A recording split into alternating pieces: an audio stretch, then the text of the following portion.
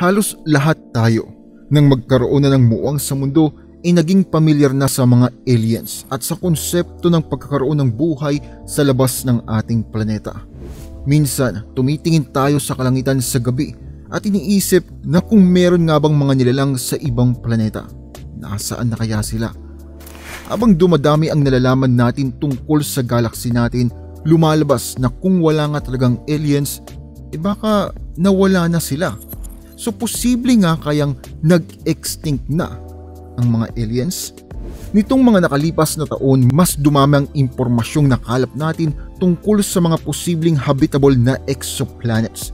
Katulad ng Earth ang mass nila at nag-orbit sa komportableng habitable zone at habang ang atmosphere at compositions nila ay hindi pa ganong nalalaman, maaari pa rin silang mag-host o baka nag-host na ng buhay.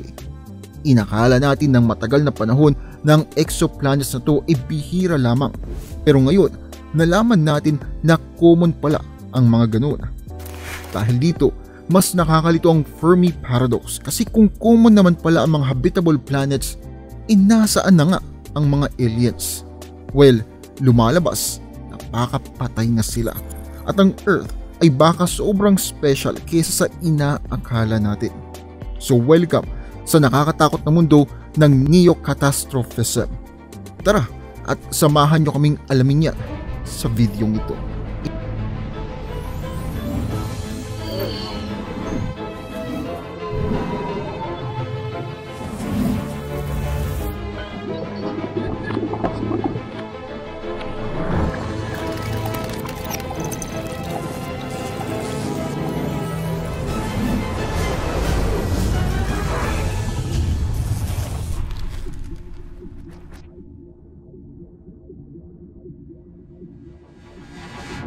Alam mo, hindi porket tama ang size ng planeta, nagawa to sa tamang sangkap at nag-orbit sa isang bituin sa tamang distansya eh habitable na to agad. Hindi ganun. Tignan mo ang Venus. Ito ang pinakamalapit, pinaka-inhospitable na planeta sa solar system. Pero technically, pasok ito sa habitable zone. Halos katulad lang ang mass sa Earth at basically ay katulad din ng komposisyon, same amount ng elements ha, hindi yung compounds. Pero may nakita ka bang nilalang doon? Siyempre wala. Yun ay dahil sa ang star systems natin at ang ating galaxy ay sobrang pamatay kaysa sa inaakala mo. Nariyan ang solar winds, atmosphere depletion, unstable na orbits at GRB o gamma ray bursts. Lahat na nangangahulugang ang buhay ay hindi ganun kadaling uusbong. I-breakdown natin to sa mga cosmic natural disasters ang solar winds ay ang charged particles na lumilipad sa bituin. Kinakailangan nila ang mga atmospheres slowly but surely. Sisihin mo ang solar wind ng araw para sa manipis na atmosphere ng Mars. Sa nakalipas na ilang bilyong taon, winasak nito ang dating makapal at plentiful na atmosphere ng Mars. Kung walang proteksyon kaya ng malakas na magnetic field, huwag ka nang umasa na makakapanatili ka sa habitable zone at mapanatili ang atmosphere ng planetang yun. Ibig sabihin nito ay kung may buhay man na uusbong sa planetang walang magnetic field, hindi ito magtatagal para makapag-evolve sa maituturing natin na isang sibilisasyon. Wala ring 100% na stable orbit sa mga planeta, nag-drift in at nag-drift out sila. Ang Earth ay maswerte dahil sa Jupiter nahuhold nito ang lahat ng planeta sa kanilang kasalukuyang orbits. At ang Earth mismo ay may stable na orbit. Nagdrift in at out na ang planeta noon dahilan para maganap ang late heavy bombardment. Kung walang katulad na planetang Jupiter para mapanatili sila sa kanilang mga orbits, ang mga maliliit na rocky exoplanets ay maaari lang manatili sa habitable zone ng ilang milyong taon. So, kung makapagpasimula man ng buhay sa loob ng mga taong yun, either magfo-frozen sila o mapiprito sa paglayo o paglapit ng planeta sa bituin nito. Hindi ideal, di ba? So marami palang bagay sa solar system na maaring pumatay sa alien. Pero papaano naman sa galaxy? Well, hindi kasi lahat ng bituin ay kasing kalmado ng meron tayo ngayon. Ang iba ay malahalimaw talaga ang mga nakakatakot na bituin na ito ang dahilan kung bakit delikado ang natitirang bahagi ng galaxy. katulad nga ng sinabi ko kanina, ang GRB kasi ay ang highly energetic burst o radiation na binubuga ng malalaking supernova. So far, nakikita lang natin to sa mga malalayong galaxy. Hindi dahil sa rare yun sa galaxy natin. Nangyayari naman yun, hindi nga lang sa human life scales. Siguro mga isang beses kada isang milyong taon. Pero ito kasi, kung magaganap yun malapit sa atin at nakatutok sa tamang direksyon, ang pagsabog na yun ay sobrang lakas na kaya nun mabura ang buong buhay sa isang planeta. Dahil doon, prinopose ng mga astrophysicists ang tungkol sa habitable zones sa galaxy. Itong mga areas na walang bituin na kayang mag-produce ng GRB kaya hindi sila at risk sa pamatay na blast kada isang milyong taon. Sa mga sacred spots na ito, kayang umusbong ng buhay na hindi natatakot at nangangamba sa death race ng bituin. Sa labas ng areas na ito ay eh pwede pa rin naman magkaroon ng buhay pero hindi yun tatagal tulad ng sa Earth. Sa halip, e bago pa makapag-evolve to sa advanced na species, e mamamatay na ito. Yun ang ugat nito. Baka nag-i-exist naman talaga mga aliens sa kalayuan pero hindi lang sila nag-survive ng ganoon katagal at wala sila yung bilyong taon na stability na tulad sa ating mundo para makapag-develop. At least iyan ang pinopropose, ang ideya na ang galaxy ay may maliit na safe zone labas sa cosmic terrors. Pero just to be clear, hindi pa ito proven. Ito ay teorya pa lamang. Hindi pa natin alam kung ang galaxy ay ganun ba talaga kapamatay. Mapapaliwanag dito ang kawalan ng advanced civilization sa ibang lugar na wipe out na sila bago pa man makapag-evolve. Pero papaano kung may iba pang pumipigil sa kanila? Ang ideya na ito ay ang tinatawag na The Great Filter. May isang bagay o kung anuman na pumipigil sa buhay para mag-develop at maging isang advanced civilization. Kaya naman wala kayong makitang ganoon sa galaxy. Pero ang buhay bilang simpleng organismo iba ka common. Maraming hypothesis na dahilan ng Great Filter, self-destruction, bilis ng technological advance, natural disasters at astrobiological transitions. Yan ang mga usual o pinaka-prevalent ang ideya ay kaya nitong mapahinto ang majority ng buhay na nagde-develop sa susunod na stage. Ang ikinababahala natin ay hindi natin alam kung kailan o kung saan para sa atin ang filter na ito. Sobrang swerte lang ba talaga natin at nakaligtas tayo doon o naghihintay pa lang yon sa atin para dalhin tayo sa ating katapusan? Tignan natin yung medyo hindi nakakatakot muna, yung natural disasters at astrobiological transition.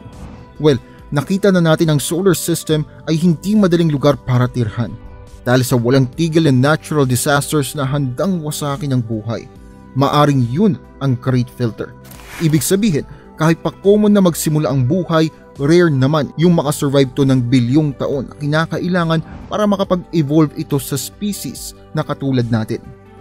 Ang astrobiological transition ay isa pang paraan o way ng kung gaano kabizar ang multi-celled organisms. Sa mahabang panahon, mga 3.2 billion, ang buhay sa ating mundo ay simpleng single-celled lamang. Either hindi nila kayang mag-form ng multicellular life o walang evolutionary advantage para gawin yun. So ganun ang mga sitwasyon. Pero sa halip na kainin yun, ay nagtulungan sila Mula sa moment na yon, ang evolutionary roller coaster na multicellular life ay nagsimula sa ating mundo. Pero what if, alin man sa dalawang pangyayari ng dalawang unrelated cells na nagtutulungan ay sobrang rare pala? O papaano kung ang conditions na kailangan para makagawa ng ganoong pairing ay sobrang rare? Pwedeng yun na ang great filter dahilan para mapanatili ang buhay sa galaxy na single-celled squish microbial mats lamang. Pumunta naman tayo sa mas nakakatakot na posibilidad kung saan ang Great Filter ay nasa harap na natin, kabaligtaran ng kanina na nakaligtas na tayo. Ang self-destruction ay bagay na ingrained na sa alaala ng sino mang inabutan ng Cold War. Yun yung mga panahon na talagang nasa bingit na ng pagkawasak ang mundo araw-araw hindi lang dahil sa digmaan yan, kundi dahil sa tensyon at sa posibleng maganap kung hindi yun makokontrol. May hawak ang iba't ibang bansa ng nuclear weapons na sapat para maubos ang sangkatauhan sa buong mundo. Kaya naman sabi nga nila, ang susunod na pandaigdigan digmaan ay ang magiging panghuli. Ang nuclear Armageddon ay isa pa ring banta. Logical naman na ini-expect na ang ibang advanced civilizations ay nagpo-progress sa katulad ng stage natin. Madidiskubre nila ang nuclear fission at nuclear fusion at makikita ang devastating effects nito. Kapag naganap na ang discovery tapos nasa gitna ng digmaan ng mundo, ay eh malaki ang posibilidad na maubos nila ang sarili nilang lahi. Siguro, iniisip ng iba na porket nakaligtas ang mundo sa pagkawasak noong Cold War, ay eh na tayo sa filter. Hindi po. Hanggang hindi binibitawan ng mga bansa ang mga nuclear weapons nila, hindi mawawala ang banta ng pagkawasak. Sinong makakapagsabi baka ang mutually assured destruction o MAD ay mabigyan tayo ng isang libong taon ng relative international peace. Pero sa huli, mauubos pa rin tayo.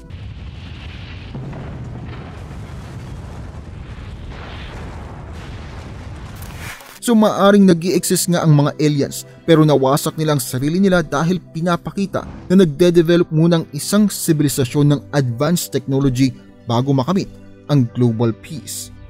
Para sa mutually assured destruction, gumawa po ako ng video niyan.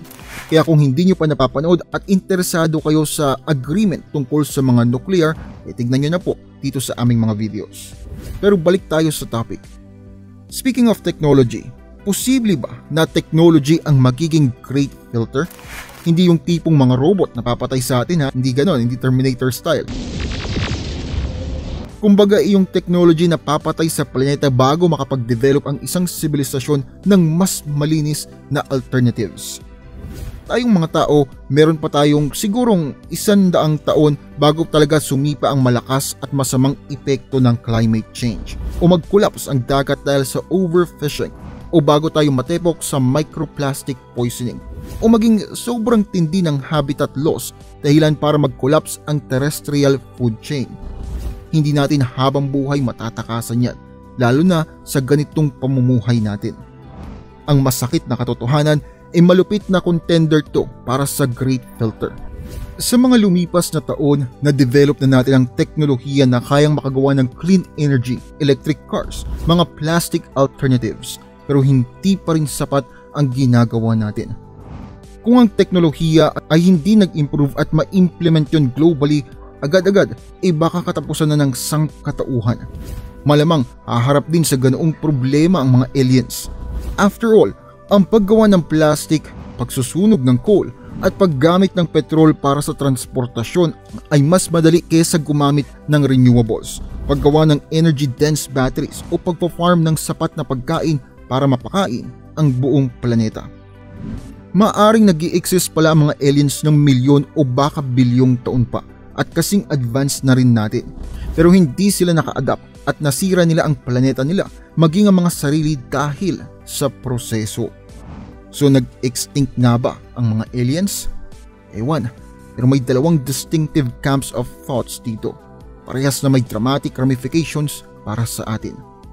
Kung ang buhay ay nahihirapan magpatuloy at namatay nga, edi pinapakita nun kung gaano ka-special ang ating mundo Sobrang special natin para mabuhay sa isang unique na parte ng universe. Pero ibig sabihin din nun, ay mag-isa na lang pala tayo dito sa universe. At ang mga natitirang life forms ay mga single-celled na di naman natin makakachismisan. Ito ang neocatastrophism o ang great filter na nalampasan na natin. Kumbaga, tayo yung gaalikabok na nakalusot sa isang butas ng net. Ganun tayo kaswerte pero sa kabilang banda, baka prevalent naman ang multicellular life. Dahilan para magkaroon ng posibilidad ang universe at ang galaxy natin ay puno ng buhay at early civilizations. Pero maaring harapin din natin ang great filter na pumigil sa mga malalayong aliens at maaring mapigilan tayo nito para maging isang advanced na sibilisasyon. Sa paghahanap at pag nakakita pa tayo ng mga exoplanets at ma-explore ang universe gamit ang mas malulupit na telescopes. Baka masagot na rin natin ang mga tanong na ito.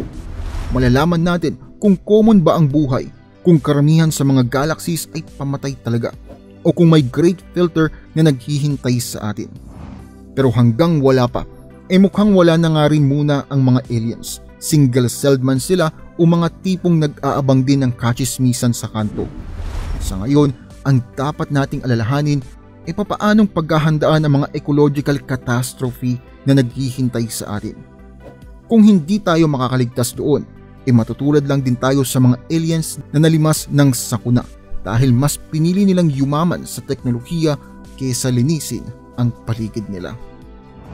Kung nagustuhan ninyo ang video, huwag kalimutang i-like, mag-subscribe at i-hit ang bell notification. Meron po akong dalawang channel kung mahilig kayo sa history at mythology, mag-subscribe kayo sa Ang Libro. At kung mahilig naman kayo sa mga horror, mga true crime, mag-subscribe kayo sa Bulalord Stories. Muli, maraming maraming salamat sa inyong panonood.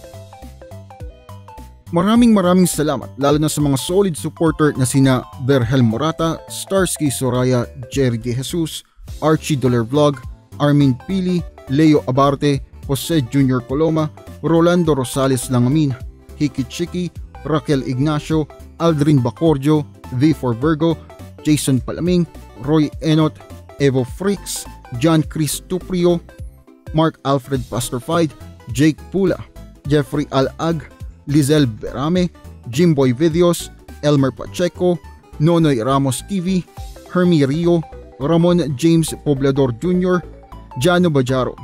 At salamat sa mga bagong members at welcome rin sa channel na sina Neil Ivan Kimbo, Ren Jeff Axie Gaming. Meron po tayong content sa ngayon ay every Wednesday. Pakicheck na lamang po ang playlist, pakicheck na lamang po ang playlist at marami-rami na rin pong nakalagay doon. Muli, maraming maraming salamat po sa patuloy ninyong pagsuporta.